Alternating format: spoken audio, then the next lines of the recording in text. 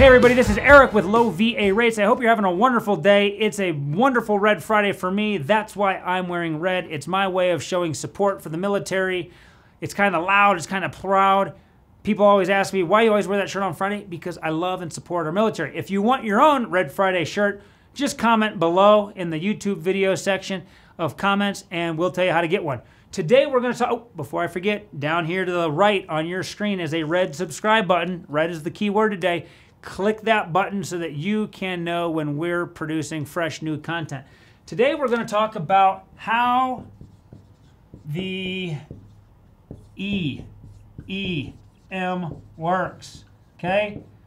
I guess we probably ought to describe or explain what EEM is before we go any further. Who knows what it is? I'm going to pause. Say it out loud.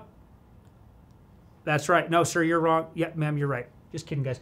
EEM, energy efficient mortgage. Okay? Energy efficient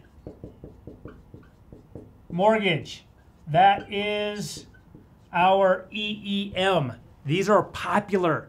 People love these loans, and veterans out of FHA borrowers, USDA borrowers, conventional borrowers, the VA loan makes it the easiest, most accessible loan out there to get energy efficient improvements on your home.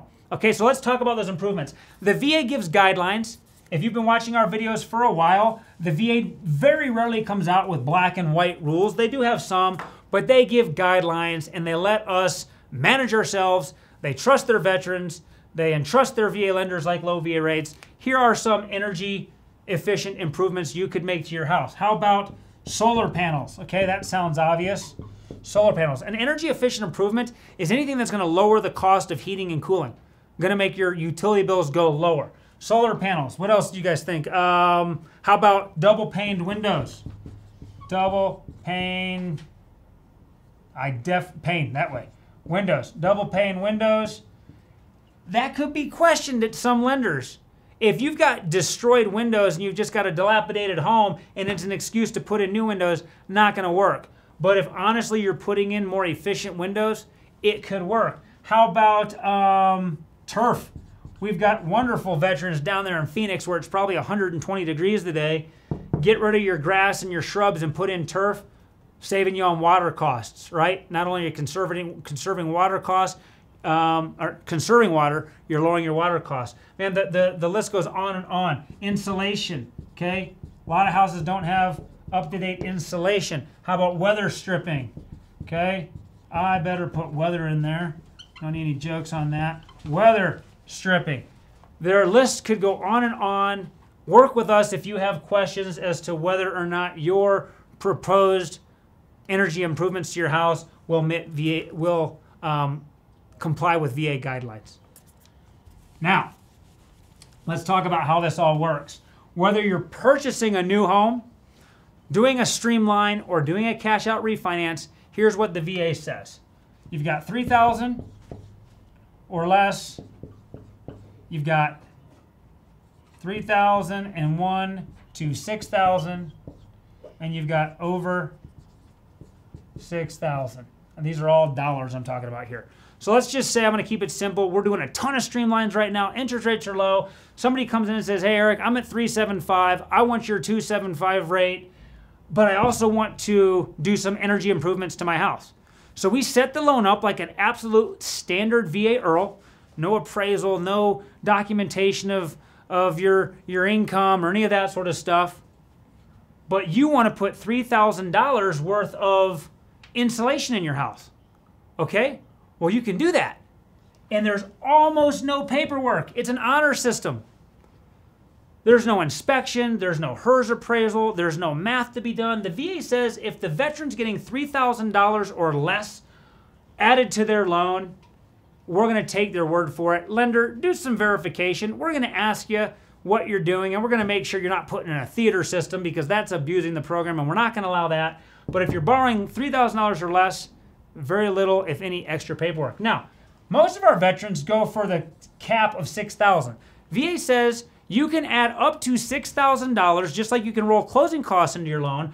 We roll this $6,000 worth of improvements into your loan so that you've got the money to pay the contractor or go down to Lowe's and buy your weather stripping, But if you're going to go over $3,000, so anywhere in this ballpark, there's some evidence that's needed. There's some calculations that are needed. For example, we may want something from the window salesman at Lowe's that says they estimate you're going to drop your heating and cooling costs by $40 a month. And they've got software that does this and a calculation, and they've proven this over time. And so they provide us with that so that we can make sure if we add $6,000 into your mortgage, that might make your mortgage payment go up by $17 a month. Now you may say, wait a second, I thought I was lowering my interest rate. There's a calculation without the 6,000. That's taking you from that 375 to 275. You're saving a couple hundred bucks a month. But if we add 6,000 on there, now instead of saving 200 bucks a month, let's say you're saving 185. Okay? So you have $15 less in savings a month, but your your heating and cooling bill is going to drop by $40 a month. That's going to be approved because the additional cost involved with getting the windows or the improvements is the cost of getting the improvements is less than the savings. So we do that test. And then, secondly, we get something official making sure that you're actually doing what you're saying you're going to do. Let's say you add this $6,000 into your loan, and then your loan closes, and we ask for evidence that you actually got the windows, and you say, Oh, I was just kidding. I just wanted the $6,000. You can't beat the VA, you can't trick the system, and you shouldn't do that anyhow. I know none of our watchers would do that, but the rules are set up to protect the system. We would take the $6,000 that we were holding until your work was done and we would not give it back to you. We would take and we would send it to whoever's servicing your mortgage at the time. Let's just say it's with Chase Bank, and we would pay your balance down by $6,000. And if you, you know, if you say, yeah, but I was going to get the windows done, well, this keeps you from abusing the system. It keeps lenders from abusing the system, and it still pays your mortgage down. Now, one other catch, and we're going to wrap this thing up. You got to get all the work done within six months. Some lenders may have stricter rules. They may want it done sooner. So don't go out and get $6,000, roll that into your loan, get a 2.75 interest rate from low VA rates in June, and then not get the work done very quickly because if the work doesn't get done, but you're sitting on all these windows and you're just waiting for someone to come and install them, you're not going to get the full $6,000 you're going to get the money for the windows, and the contractor's going to be out of luck, and he's going to be coming after you, and then you've got liens and judgments and all this other stuff. So just get the work done on time. It's an amazing loan. Take advantage of it. Get a lower rate and a lower cost of uh, utility bill in your house all at the same time. I love this loan. We're one of the only lenders that does it and does it well. Thanks for watching. We'll see you next Friday at the same time.